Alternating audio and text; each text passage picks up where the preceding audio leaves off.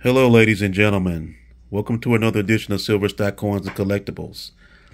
I just wanted to highlight, uh, I have here some of my silver bullion and junk silver.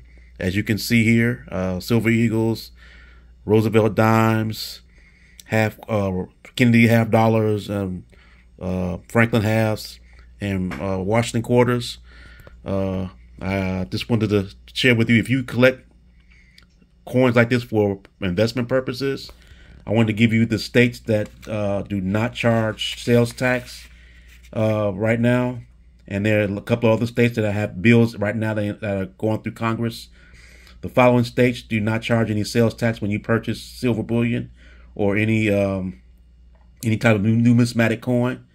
Uh, if you live live in Alabama, Alaska, Arizona, uh, Arkansas, Colorado, Delaware, Idaho, Iowa, or Kentucky, also Louisiana, Maryland, Mississippi, Michigan, Montana, uh, Nebraska, New Hampshire, North Carolina, North Dakota, and Ohio, Oregon, Pennsylvania, South Carolina, Texas, Virginia, Washington State, West Virginia, Wisconsin, and uh, Wyoming. These states right here do not charge sales tax when you buy bullions, which is a great savings for you. So you save a lot of money the other states, unfortunately, there are 21 other states that do um, charge, still charge sales tax, but they, uh, it's, it's like seven, between four and seven percent. California, Connecticut, Washington District of Columbia, Florida, Georgia, Hawaii, Illinois, Indiana, Kansas, Maine, Massachusetts, Utah, Minnesota, Vermont, uh, Missouri, Nevada, New Mexico, New York, Oklahoma, Rhode Island, and, and South Dakota all charge a sales tax, so you you will incur a sales tax on um, purchasing bullion, and unfortunately, that you know you won't be able to save as much. So if you live in the other states that I mentioned, I highly suggest if if you if you're dealing with a seller, or if you're trying to buy something online, the that they normally will not charge sales tax, or if you live in that state and you go to a coin shop, um, it's best to uh, get it from them and you won't have to worry about uh, sales tax. Uh, you know, taking you know messing up your, your your transaction and causing you have to pay more money. So I just wanted to share that with you.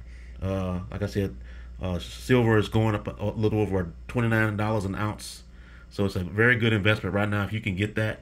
It has nothing to do with any errors or anything like that. It's just the actual value of the silver itself.